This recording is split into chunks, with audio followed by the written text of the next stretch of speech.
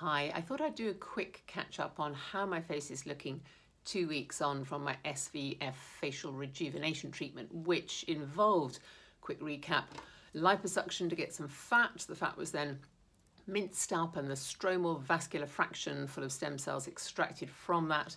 The stem cells were injected deep on the bony arches of the face, then the fat was mixed with the stem cells to add volume around the cheeks, in the chin, on the jawline up here, and then the stem cells were used on their own to um, rejuvenate the skin.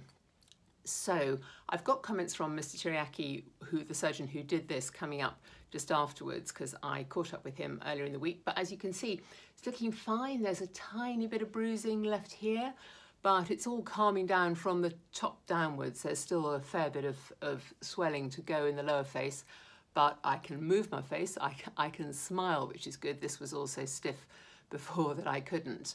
Um, and I think it's looking pretty good, though it won't really be looking uh, finished, I dare say, for another month or six weeks. And then the effects of the stem cells should kick in and this should go on sharpening up for the following year. That's what I'm told. So that all sounds good, but see what you think uh, in the comments coming up.